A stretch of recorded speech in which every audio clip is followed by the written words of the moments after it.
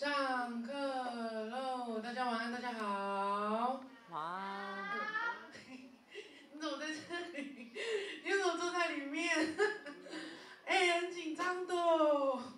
欢迎你们来到铁花村。那今天呢，礼拜三，铁花村每每次呢，就是固定在礼拜三都会有这个节目，叫做唱作俱佳。在节目开始之前呢，想要跟大家介绍一下铁花村的环境。在这个里面呢，我们叫做蓝色小屋。那通常呢，礼拜三、礼拜四是我们的室内的演出空间。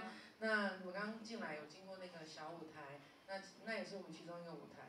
然后更大的舞台呢就在外面，在那个树的旁边。所以呢，我们铁花村一共有三个舞台。所以以后你来铁花村看表演的时候，我们说蓝色小屋，你就知道哦，在这里，屋檐下就在那里，大舞台会了吗？会。好，那如果要上厕所的话呢？你知道厕所在哪里吗？你都第一次来是吗？厕所呢就在蓝色小屋的对面，所以待会你要上厕所的话呢，就到对面去上厕所。那外面有一个分类垃圾桶，如果你有带呃自己的垃圾啊什么要丢的话呢，到我们的厕所外面去丢。记得要做垃圾分类，因为乱丢是垃圾回收。答对，就是资源，请大家做好垃圾分类。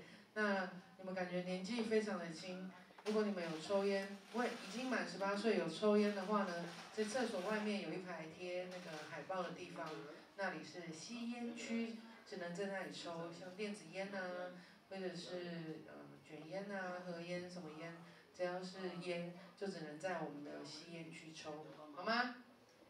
好诶。你们好安静哦！你们十八岁了吗？还没。你们读哪里？啊，是，你们老师带你们来的。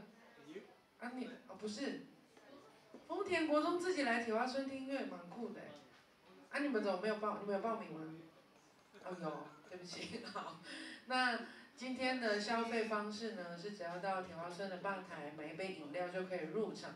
那还有其他的消费方式，有的时候是买门票啊，有的时候就是买饮料，有的时候就是买门票，反正其实就只有这两种，买门票或者是买饮料。那在铁花坝的旁边呢，有一个叫做铁花好店的地方，如果你们待会嗯想出去走一走啊，看一看，可以去铁花好店逛一逛，里面呢有铁花村自己呃设计的一些文创商品啊，不管是明信片呐、袜子啊、衣服啊。笔记本啊，纸胶带啊，什么啊，什么，你们就可以去逛一逛，也可以寄明信片呢。我们有代寄明信片的服务。那再过去一点呢，铁花好店的旁边有一个村民，呃，音乐故事屋。那里面呢有铁花村从二零一零开村以来，一直到呃去年的一些大事记。然后在远一点的地方呢，有一个木造的空间。那里面呢，现在有展览呐，还有一些音乐专辑的贩售。反正有兴趣，大家都可以在我们场域里面逛一逛。那外面那一排摊车为什么没有亮呢？因为铁花村的慢市集只有五六日才有，所以如果想要逛市集的朋友，五六日欢迎你再度回来到铁花村。好，这个就是大概铁花村的环境，就是像是徒步区啊，或者是。考大爷啊，波浪屋那边为什么我没有介绍呢？因为那里不是我们的范围，铁花村就是在这里。好，如果你要知道徒步区的市集谁管理的，那就是台东县政府交关处这样子。波浪屋呢有问题的话，就去他们的粉砖问。那铁花村呢就只负责我刚刚说的这一块。你们学会了吗？会，好。那我就仅代表台湾好基金会以及铁花村的所有员工，欢迎你们来，谢谢你们来。希望我们今天呢都有一个非常温馨、舒服、美好的夜晚。好紧张，为什么你们今天都都说好要来，是不是？讲真，你们来看雨果的，对不对？不可能。好啊，唱作俱佳呢。嗯不知道刚刚大家有没有听到我在广播的时候，它是一个自由舞台，我们会在晚上七点钟，每个礼拜三的晚上七点钟开放报名。如果你对舞台有兴趣啊，演出有兴趣，想要分享你的故事、你的音乐的话呢，就可以在我们的入口的黑板写上你的团名、你的名字，待会呢就会按照顺序上台演出。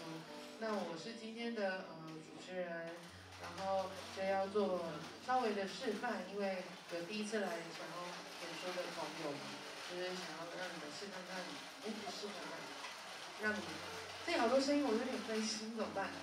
现在我我们有阿生的呃同仁在为你们展现的是开遮雨棚，请掌声鼓励给我们的有阿生工作人员。哎，开那个其实很累，收那个更累，它太大了，然后有点飘雨，所以待会如果你今天没有带雨具的话呢，你可以去我们的吧台买雨衣，一件只要十元，好吗？